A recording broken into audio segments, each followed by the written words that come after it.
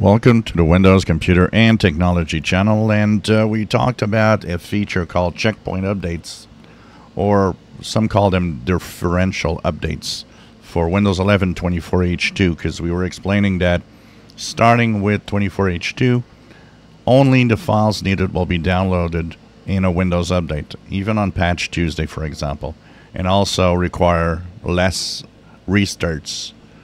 Now, um, this September Patch Tuesday starts this new feature of checkpoint updates, which means that when you go and update your Windows operating system on 24H2 for those that are there, you now get only the files needed for your PC to update.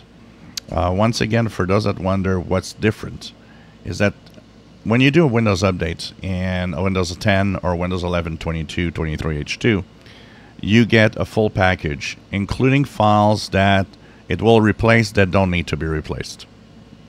So, in essence, if it needs to uh, replace only three files, but it's a whole package that replaces 50 files, all 50 will be, um, you know, changed.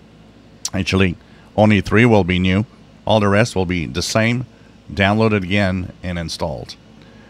With differential updates, um, what happens is that, or checkpoint updates, when you download, if it knows that only four files out of a full package need to be updated, well, that download will be much smaller because it will contain only four files, and only those four files will be modified in the update.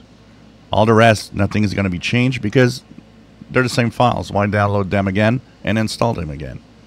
So smaller updates and less frequent restarts uh, for that.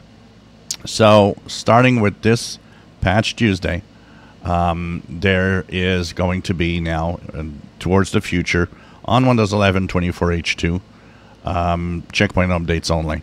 So uh, gone are the days of the really big updates and replacing files that should not be replaced because they're the same files. If you enjoy my videos, please subscribe, give us thumbs up. Thank you for watching.